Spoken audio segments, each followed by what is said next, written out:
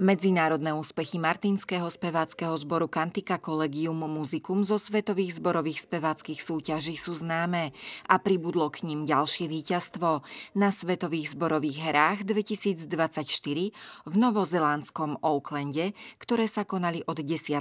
do 20. júla, dosiahli naši speváci neuveriteľný úspech. Kantike sa darilo veľmi dobre, musím povedať, že v kategórii zmiešaných zborov sme získali striebornú medailu a v kategórii sakrálnej muziky sme získali zlatú medailu. Je to eufória, je to, je to niečo, niečo úžasné, pretože to, to je ako keď ten športovec proste dobehne do toho cieľa, vie, že má medailu a, a, a teraz e, za ním je vlastne to štvoročné obdobie plné driny, plné tréningov. U nás je to veľmi podobné. Veľkolepú atmosféru vytváralo 11 tisíc účastníkov z 250 zborov zo 42 krajín sveta.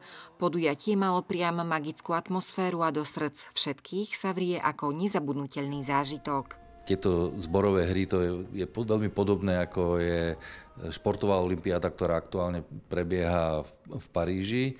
Takisto raz za 3, 4, 5 rokov podľa toho, ako to vychádza, sa e, zbory, ktoré sa de facto nejakým spôsobom dostanú na tieto hry, sa stretnú, predvedú svoje umenie, porota ich nejakým spôsobom ohodnotí. 37 spevákov a dirigent z Kantiky podávali dýchberúce výkony. Ich snaha dlhé hodiny na cvičovania a trénovania boli medzinárodnou porotou zaslúženie odmenené. Vtedy tak ako keby to tak z vás spadne všetko, že wow, že to všetko stálo za to, že to malo zmysel. A, a, a, a ja osobne som v tom čase a aj všetci moji kolegovia si myslím veľmi šťastní. Nemecká agentúra Interkultúr, ktorá svetovú súťaž organizuje, zastrešuje 11 tisíc zborov zo 109 krajín a pol milióna spevákov a speváčiek. Na základe výsledkov zo speváckých podujatí zostavuje celosvetový ranking. Martinčania sa v ňom pred súťažou na Novom Zélande nachádzali na 28. mieste v zmiešanej speváckej kategórii a v kategórii sakrálnej hudby hudby sú na neuveriteľnom 7. mieste.